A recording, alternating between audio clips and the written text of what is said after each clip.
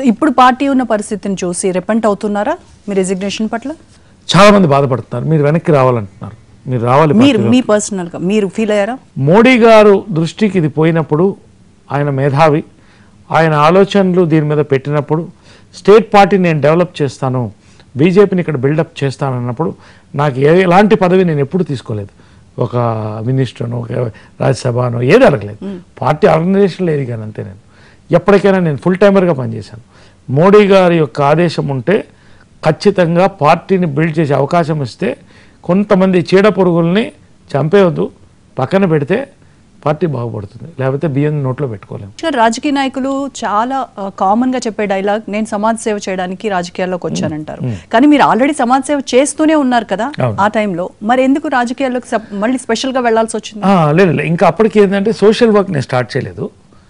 వాజ్పేయి గారు వచ్చినప్పుడు ఒక కొత్త ఐడియాలజీ వస్తుంది.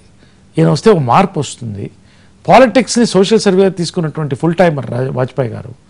అటువంటి వ్యక్తితో నేను పనిచేస్తే ఒక ఒక జాతీయ పార్టీలో ఒక మార్పు వస్తుంది అనే ఆలోచనతో వచ్చా. రాజకీయం నన్ను సామాజిక సేవలోకి తీసుకెళ్ళింది. విరక్తి చెంది కాదు. కొద్ది రోజులు గ్యాప్ నాకు బేస్ ఉంది. నేను ఎప్పుడు కావాలన్నా అనంతపూర్ జిల్లాలో నేను ఎక్కడ కంటెస్ట్ చేస్తాను నాకు ఎవరు కాదనలేరు నేను కంటెస్ట్ చేయడం కోసం అనంతపూర్కి పోలేదు. అనంతపూర్కి సేవ చేయడానికి పోసి పోయాను. అక్కడే ఇల్లు కట్టుకున్నాను. అక్కడే ఉంటున్నా. నా సొంత ఇల్లు ఉంది అక్కడ. నేను పిలిస్తే జనం వస్తారు. నాకు ఎప్పుడన్నా ఓటేస్తారు. కానీ అంతకన్నా ముఖ్యంగా రాజకీయంలో రాష్ట్రంలో పార్టీలో మార్పు వచ్చినప్పుడు ఖచ్చితంగా నేను పార్టీ ఐడియాలజీకి నేను సపోర్ట్ చేస్తాను.